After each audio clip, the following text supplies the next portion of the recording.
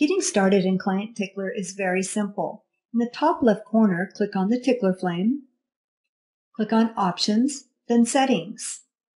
You have different settings here on this screen, tickler types, color coding, and email. Under tickler types, you can view your tickler types by alpha or sequential.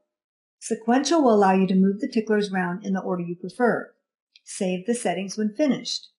Under color coding, if you would like to have color coding options, Either pick client types or tickler types by selecting the best way for your industry. Save the settings when finished. Your email settings should be set up the same way you have it on your phone or your computer.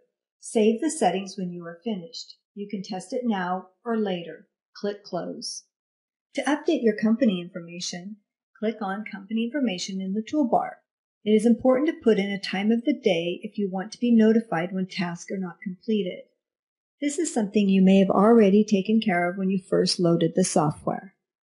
Let's update our client types. Click on Client Types from the toolbar and customize it for your personal use. If you choose Color Code option in the setup screen, you'll be able to create color coding for your client types. From the toolbar, click on your tickler types. You can set up just a few or create a complete scope of work for certain projects. We are now ready to set up our client's information. Under New Client in the toolbar, update the contact information. Pick the type of client from your client type list. If you put in a birthday, you will be reminded three days before their birthday. Click Continue. Once you continue with setting up the client, a screen will pop up demanding that you schedule your first tickler. Moving around in Client Tickler is also very simple.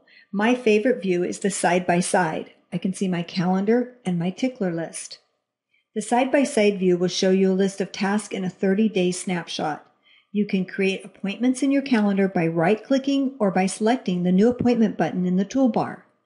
You may only want to see your tickler list on a daily basis, so close your side-by-side view and select the tickler list. To manage your ticklers, click on a current tickler from the tickler list. Update your notes and click Save or complete this task and assign it to a new date with a new description. If the tickler has not been completed, you can simply change the date to a future date for follow-up. Remember, the event log will track each event by add, update, or complete, so you can keep a track of your entire project. If you need additional information to get started, please do not hesitate to contact customer support at the Client Tickler office. We can be reached by email or by phone. We look forward to working with you.